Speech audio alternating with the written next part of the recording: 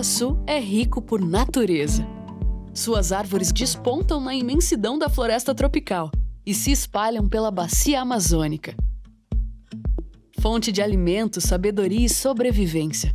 O cupuaçu é um alimento único, um símbolo dos sabores da mata e da biodiversidade brasileira. O cupuaçu é essencial, né? Ele tem um sabor, um aroma muito característicos, né? Bem característicos e único também, eu diria. Faz parte do dia a dia nosso. Estudar os produtos da agrobiodiversidade amazônica é sempre muito importante. E o cupuaçu é um fruto típico da região amazônica. Ele é um fruto que ele tem muitas potencialidades de usos. Após a extração do óleo do cupuaçu, que é considerado como a manteiga do cupuaçu, é, existe uma torta.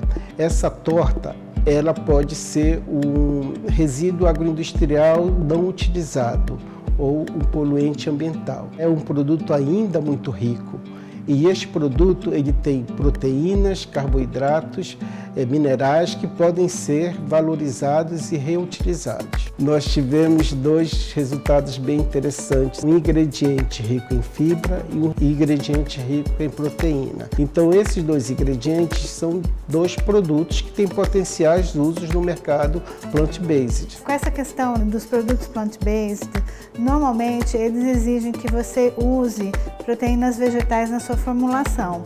E os ingredientes naturais, digamos, eles não têm um teor de proteína tão alto dentro de uma porção do alimento. Então, por isso a gente usa esses concentrados proteicos. A vantagem é que você aumenta o uso da biodiversidade brasileira e aumenta a disponibilidade de produtos para serem utilizados no mercado. É uma valorização da nossa biodiversidade e a valorização das comunidades locais, da cooperativa.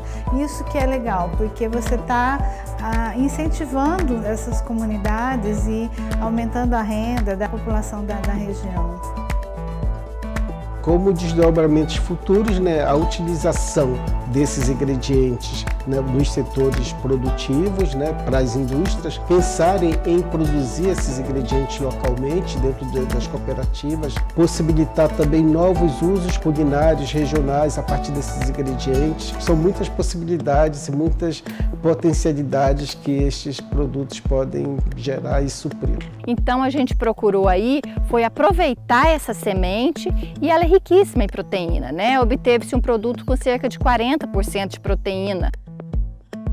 Valorizar a natureza, os saberes e agir de forma sustentável no fomento e desenvolvimento de proteínas alternativas é o que move a produção de conhecimento e as pesquisas do DIEFI. Por isso, acreditamos no potencial do cupuaçu como alimento que pode ser aproveitado integralmente, gerando mais oportunidades para as comunidades, novos produtos e novas possibilidades para se pensar a alimentação do futuro. Você pode fazer parte de um sistema alimentar justo, seguro e sustentável